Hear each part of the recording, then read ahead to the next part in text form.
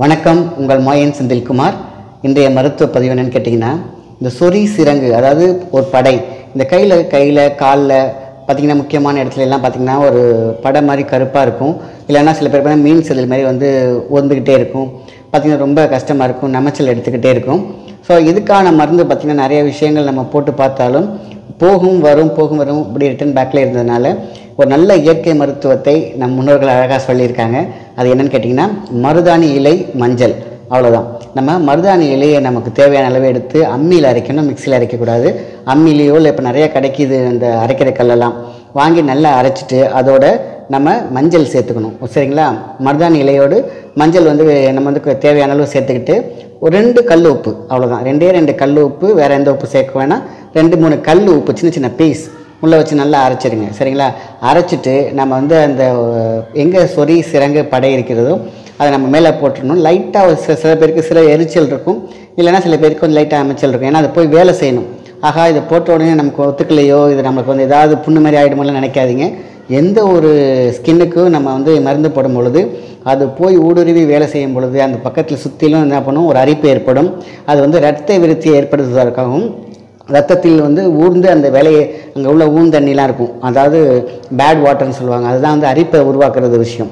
So தெரியாமல் தெ கடித்த பூச்சிக்கடியை கூட பார்த்திங்கன்னா ஒரு படை மாதிரி வந்திருக்கும். அது யானை சொறி சொறி ப செம் செம்படை சொறி இதுமாரி பல சொறி இருக்குது இது பேருக்கு பாருங்கள் சில பேர் வந்து சொல்கிறதுக்கு வெக்கப்பட்டுக்கிட்டு சொல்ல மாட்டாங்க. சின்ன இதில் இருக்கும்போதே இதை போட்டுடணும் இது நல்லா ஊறி ரத்தத்தில் ஊறி பெருசான பிறகு தான் நம்ம டாக்டர்கிட்டே போகிறாங்க இது தவறான விஷயம்.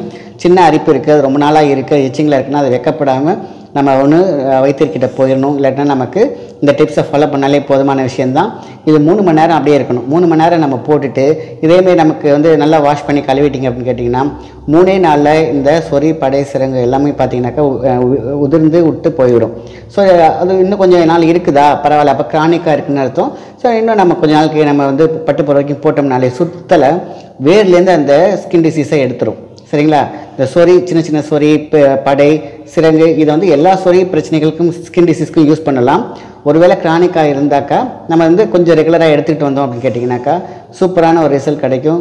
உள்ள ஆழ்ந்த ஊடுருவிய மருதாணிக்கோடைய குணமே பார்த்திங்கன்னா அழகாக மிருதுவான ஒரு ஸ்கின்னையும் உள்ள எப்பேற்பட்ட சொரியாக இருந்தாலும் சரி அதோட டஸ்ட்டாக இருந்தாலும் சரி எடுக்கும். மஞ்சள் ஆன்டிபயோட்டிக் உங்களுக்கு எந்த விதமான பக்க விளைவு கிடையாது. உப்பு வந்து பார்த்திங்கனாக்கா கிருமி நாசினி ஸோ அது மூணு மூணும் சேரும் பொழுது மிகப்பெரிய ஒரு ரிசல்ட்டாக இருக்கிறது. ஸோ அதனால் வந்து பார்த்திங்கன்னா நீங்கள் தோல் சம்மந்தமாக நிறையா சொல்லியிருந்தாலும் இது ஈஸி வே இது ஈஸி வந்து பார்த்திங்கன்னா சின்ன சின்ன எச்சிங்க்காகலாம் ரொம்ப கஷ்டப்படுறாங்க. எங்கே அரிப்பு இருந்தாலும் எங்கே படை இருந்தாலும் நம்ம இந்த மெத்தடை யூஸ் பண்ணலாம். பண்ணோம்னா கண்டிப்பாக மூணே நாளில் நல்ல ரிசல்ட் இருக்கும். அதனால் மருத்துவத்தை பயன்படுத்தி கொள்ளுங்கள். இந்த மருத்துவம் ரொம்ப கைகண்ட ஒரு மருத்துவம் தான் செய்து பயன்பெறுங்கள். நல்ல விஷயத்தை எல்லாத்துக்கும் ஷேர் பண்ணுங்கள் நன்றி வணக்கம்.